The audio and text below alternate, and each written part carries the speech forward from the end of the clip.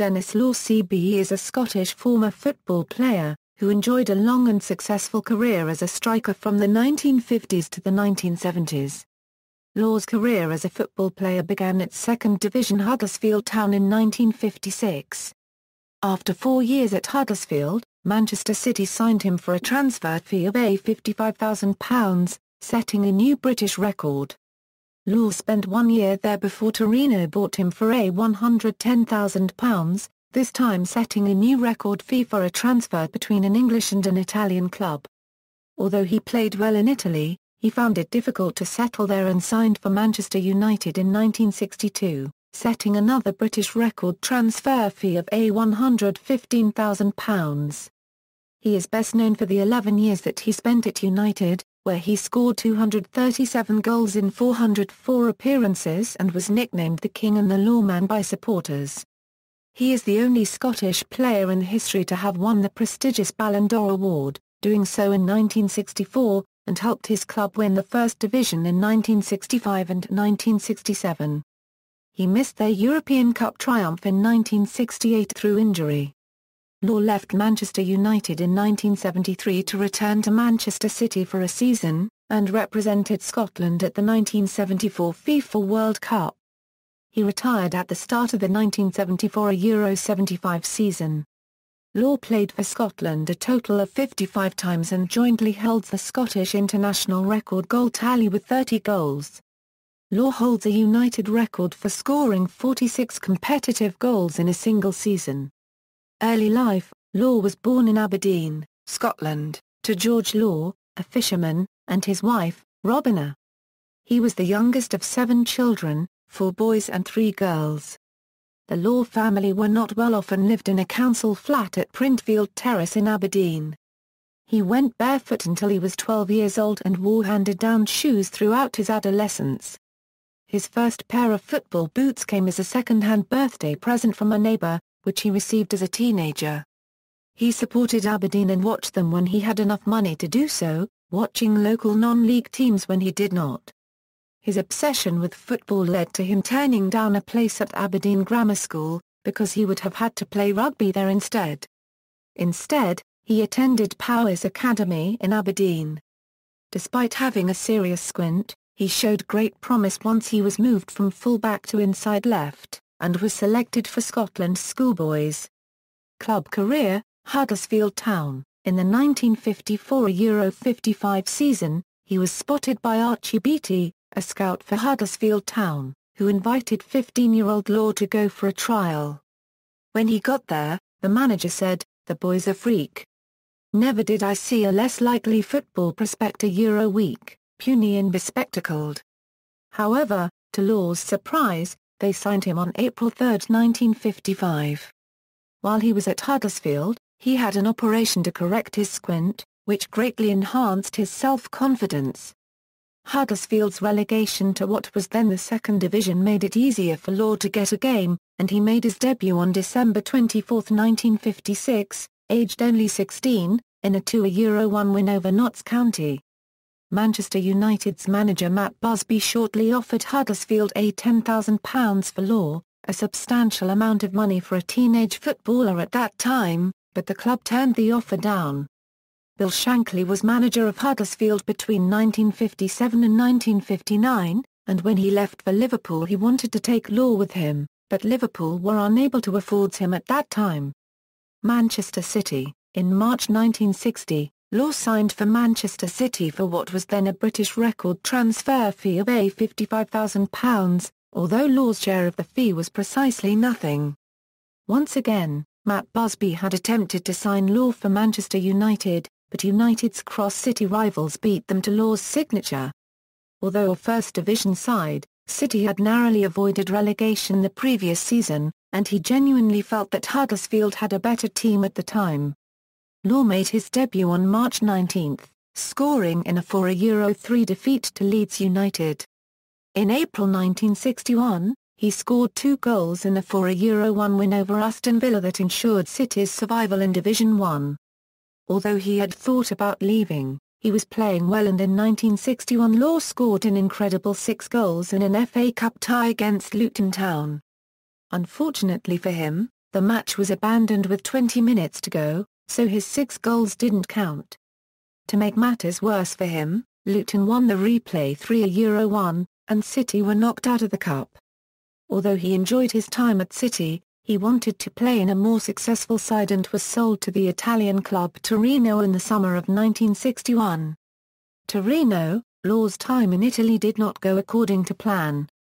Another Italian club, Internazionale, tried to prevent him becoming a Torino player as soon as he arrived, claiming he had signed a pre-contract agreement with them, although they dropped this claim before the season started. Players in the UK were not treated well at the time, and the maximum wage for footballers had only recently been abolished there, so he was pleasantly surprised to find that pre-season training was based in a luxury hotel in the Alps.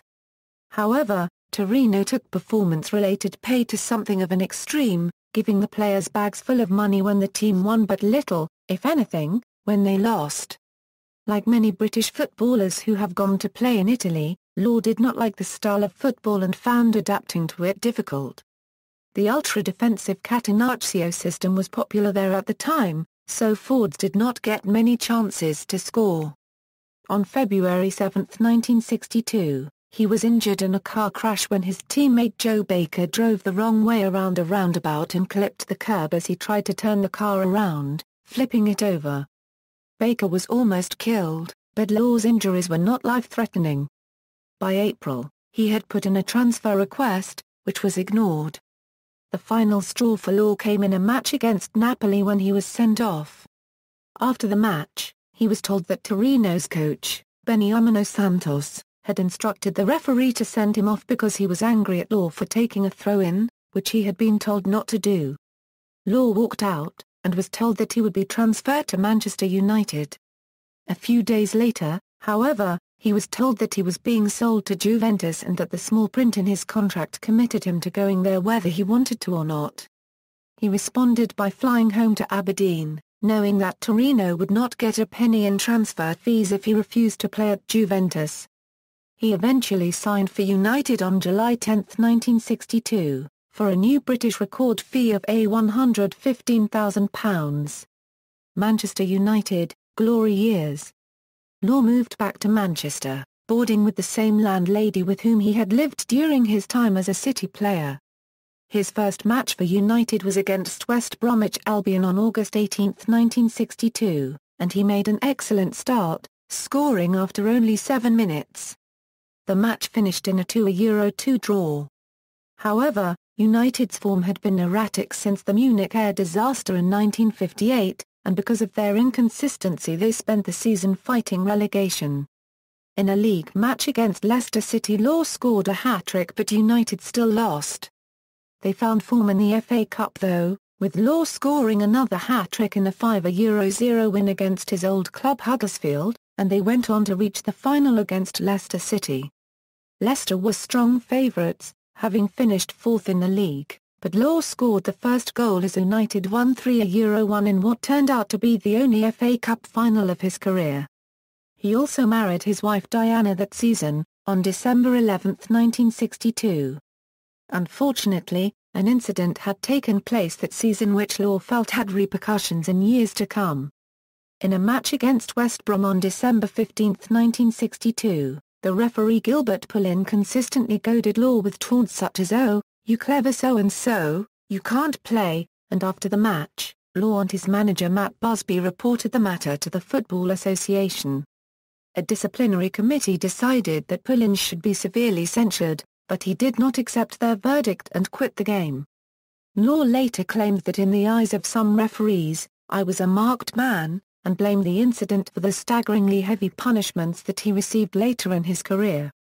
Law scored a number of goals early in the 1963 Euro 64 season and was selected to play for a rest of the world side against England at Wembley, scoring their goal in a 2-1 defeat. He later described this as the greatest honour of his career. His season was interrupted by a 28-day suspension for a sending off that he received against Aston Villa.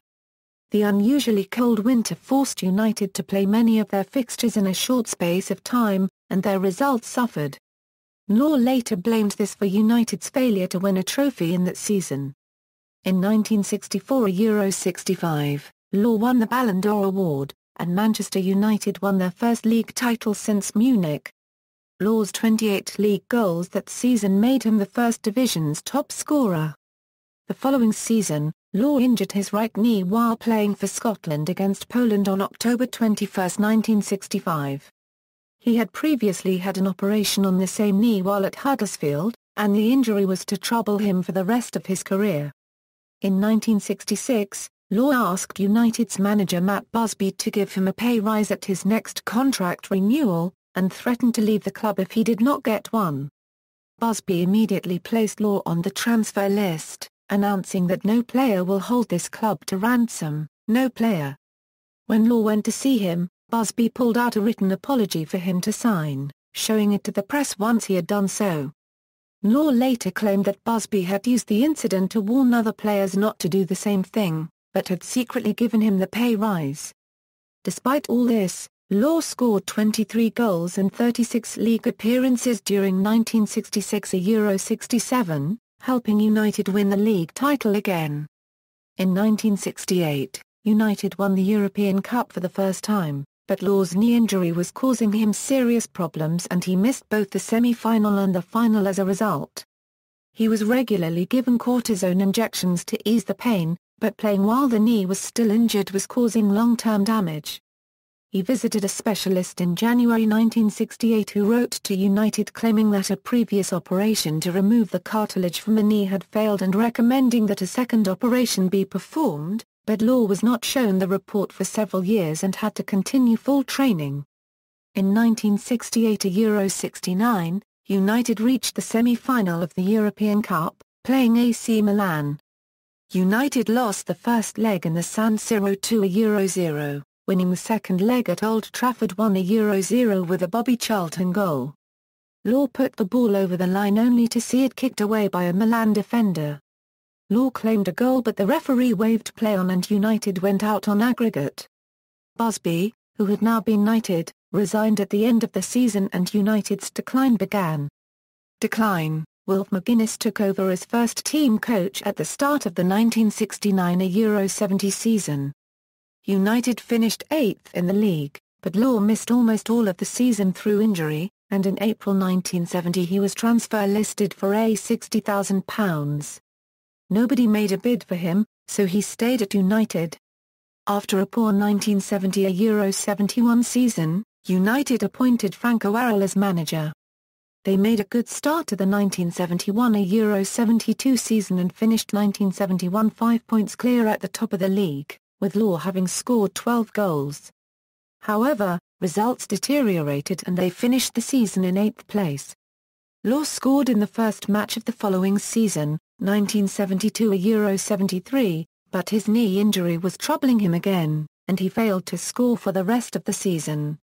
The poor results continued and O'Farrell was sacked.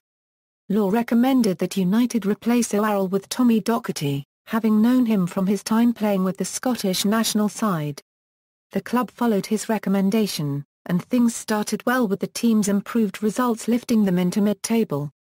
Return to Manchester City Law was given a free transfer by Tommy Docherty in the summer of 1973, after 11 years at the club during which he had scored a total of 237 goals in 404 games in all competitions, as well as collecting two league title medals and an FA Cup winners' medal. Only Bobby Charlton had scored more goals for United. Law was then offered a contract by Manchester City manager Johnny Hart, scoring two goals on his debut against Birmingham City in the opening game of the season 1973 a Euro 74. He made 27 full appearances and two as substitute in that season, including City's 2 a Euro 1 defeat in the League Cup final against Wolves. In City's last game of the 1973 a Euro 74 season against Manchester United at Old Trafford, Law's 81st minute back-heeled goal gave City a 1 a Euro 0 win but, Thinking his goal had relegated United, he did not celebrate it. It turned out they would have been relegated whatever the result, but Law did not know this at the time and walked off the pitch with his head down as he was substituted immediately afterwards. A pitch invasion by Manchester United fans followed, forcing the referee to abandon the game in the 85th minute. After a review, the Football League decided that the result should stand. In the summer of 1974, he made one appearance for Scotland in the 1974 World Cup, against Zaire. Law still had a contract with Manchester City, but new manager Tony Book told him that he would only be playing reserve team football if he stayed at the club in the new season. He did not want to end his career in this way, so he retired from professional football in the summer of 1974. Law played two games for Manchester City in the season 1974 a Euro 75, in the pre-season Texaco Cup tournament, scoring the last goal of his career in the game against Sheffield United at Bramall Lane on August 6, 1974.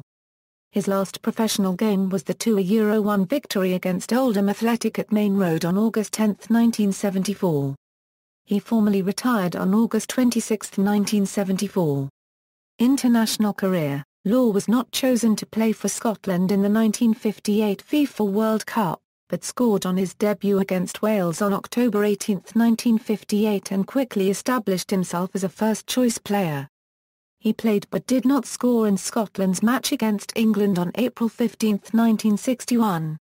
Scotland lost the match 9-3, and Law described it as his blackest day. While with Torino, Law continued to play for Scotland, although the club were not keen to release him for international matches and had put a clause into his contract stating that they were not obliged to do so. Law was chosen for the rest of the world team that faced England in the FA Centenary match in 1963. Law injured his right knee while playing for Scotland against Poland on October 21, 1965. Law scored in Scotland's famous 3-2 victory over England on April 15, 1967 in the 1967 British Home Championship, less than a year after England had become world champions. Manchester United won the league that season, but Law felt that the victory over England was even more satisfying. Scotland reached the World Cup finals in the summer of 1974, for the first time since 1958. Although he had not played much first-team football in the preceding season, Law was included in the squad and played in their first match, against Zaire. He didn't score, but Scotland won 2-0. Law was very disappointed not to be picked for the following match against Brazil, and was not selected for the following match against Yugoslavia either. Although Scotland were not defeated in any of their matches, they did not qualify for the second phase and were out of the World Cup. Personal life Since retiring as a player, Law has often worked on radio and television summarizing and presenting games. He appeared as a special guest on the TV guest show This Is Your Life on February 19, 1975, months after retiring as a player. As of July 2005, he is still married to Diana, and they still live in the Manchester area. They have five children, and their daughter, also called Diana works in the Manchester United press office. Law was made an inaugural inductee of the English Football Hall of Fame in 2002 in recognition of his impact on the English game. On February 23, 2002, a statue of Law was unveiled at Old Trafford, in the part of the stadium known as the scoreboard end. He had a successful operation to treat prostate cancer in November 2003 and was awarded honorary degrees from the Universities of Aberdeen and St Andrews in 2005. The emergence of Dutch international Dennis Bergkamp in the 1990s uncovered a story that the player's parents were fans of Law and named their son after him. However, Dutch authorities refused to recognize the name unless it was spelt with two N's as they felt it was otherwise too similar to the female name Denise. On November 25, 2005, Law was at the bedside of former United teammate George Best as he died of multiple organ failure. In May 2008, at the City of Manchester Stadium, Law presented the medals to the winners of the UEFA Cup, Zenit St Petersburg, and their opponents, Scottish side Rangers. In February 2010, Law was named as patron of the UK-based charity Football Aid, taking over from the late Sir Bobby Robson. Honours, Club, FA Cup, 1963, Football League First Division, 1964 Euro 65. 1966 a Euro 67, Charity Shield, 1965, 1967, European Cup, 1968, Individual, Ballon d'Or, 1964, European Cup top scorer, 1968 a Euro 69, PFA Merit Award, 1975, Scotland national football team Roll of Honour, inducted in 1988, FWA Tribute Award, 1994, inaugural inductee of the English Football Hall of Fame, 2002, Scotland's Golden Player, Most Outstanding Player of the Past. 50 years by the Scottish Football Association, Scottish Football Hall of Fame, inducted in 2004, Career Statistics, Club. International. International goals, scores and results list Scotland's goal tally first. References, General, Law, Denis. Gubba, Ron. Denis Law A Euro an Autobiography. Futura Publications. ISBN A0-7088-1902-8 Law, Denis. Harris, Bob. The King. Bantam Press. ISBN A0-593-05140-8 Specific. External links, Denis Law at scottishfa.co.uk, photos and stats at sporting-heroes.net, short biography on the official Manchester United website, English Football Hall of Fame profile, UEFA.com A Euro Scotland's Golden Player, BBC Archive Collections, Football Legends, Denis Law.